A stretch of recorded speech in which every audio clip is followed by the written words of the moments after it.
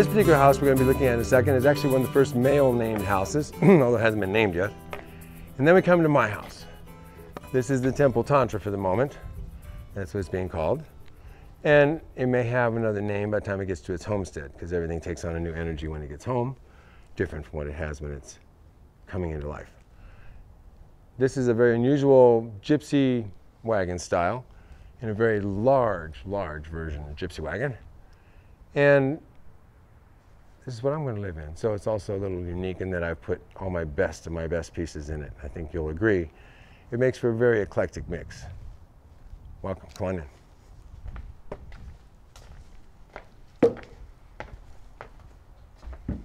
Ah, this is a piece that's going to be going in, not sure where yet, but it's a beautiful little library piece. Gives me a little place to go ahead and write letters and to store stuff. And when you have a house this small, every piece counts.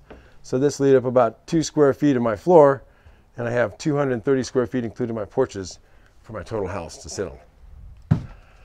Ah, from India. This is a nice piece. It actually has a space we're going to have for hanging stuff, and then down below, more storage, a little secret compartment over here that's not so secret anymore now that you've seen this. And then pieces like this where this is the step sticking out, which is actually a piece of the bark on that step burl pine, a lot of detailing in these old houses. As you come into my living room, you'll notice that I have a teeny bit of space. This, while it's not in the right position right now, is going to be the table. Be able to go ahead and have breakfast on that. And there'll be a little fireplace in the corner over here. And as you walk around through my living room, you come to my kitchen.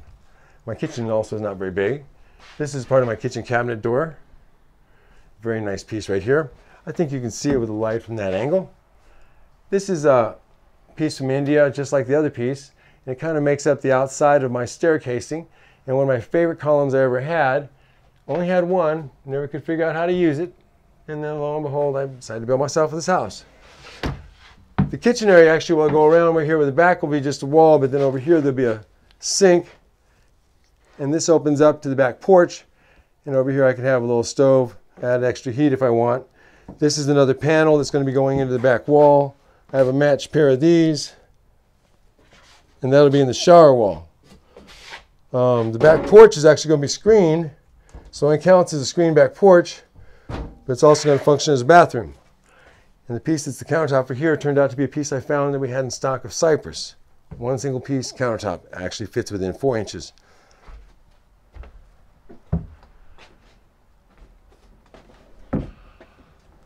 This is going to be my bathroom. And the bathroom on this one, I have a sink in here, a little commode area back in here, but also shower. So you actually have a shower, commode, sink, and a sitting area. And this will be screened in, but it also has glass inserts. So in the right season, you need to heat it or cool it. You just put in your glass inserts and you're back to having a closed in porch. But still, it's only 230 square feet. So my bathroom down here, now I have a half bath upstairs this is just for the downstairs.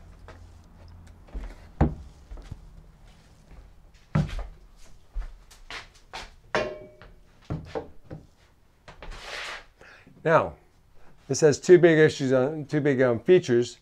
This is the stairs going up.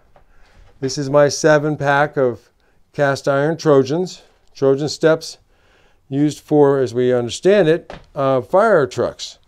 So the Trojan ladders were part of the Trojan fire trucks and uh, pretty rare.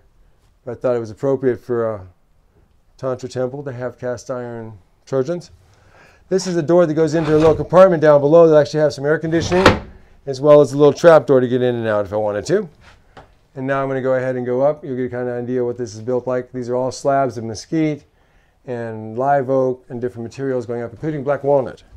And they form the free, kind of a free-form edge on the, on the stairs.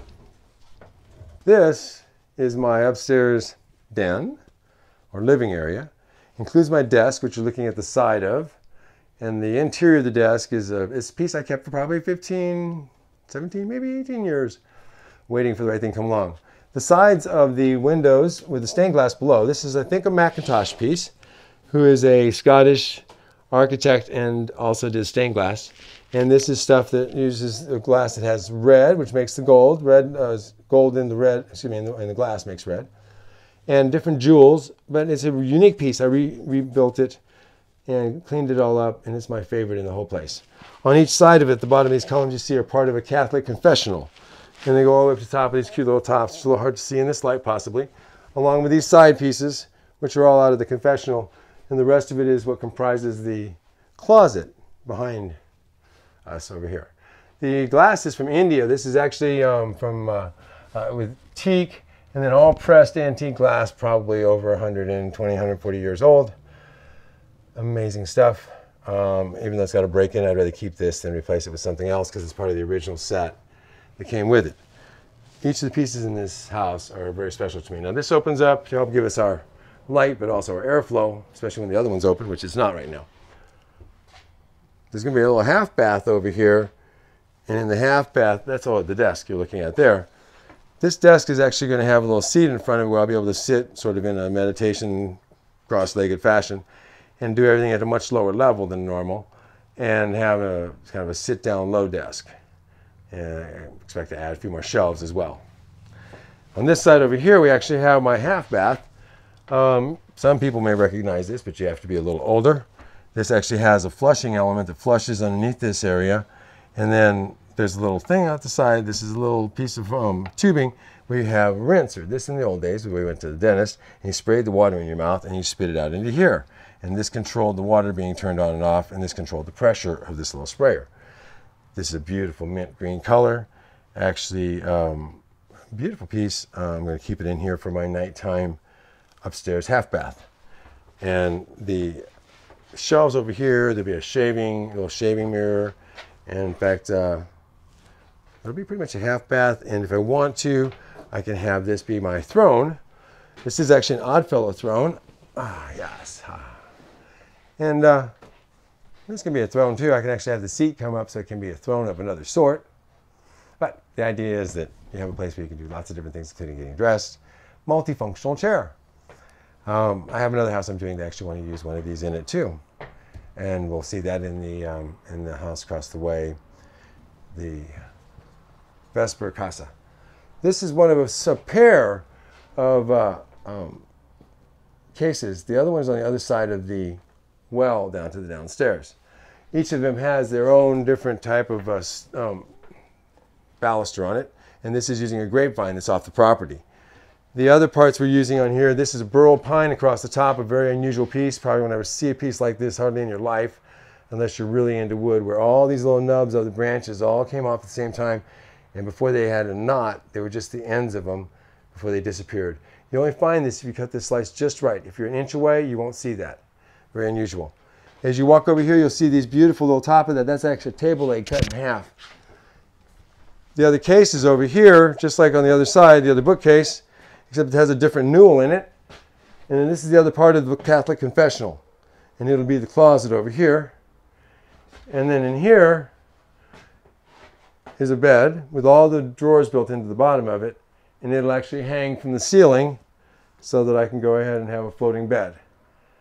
Um, this gap actually over here in the wall is because there'll be a meditation chair dangling from right here. So be able to sit in a meditation chair floating to be able to meditate. And the top will be connected to this cable over here, um, which goes up to the roof.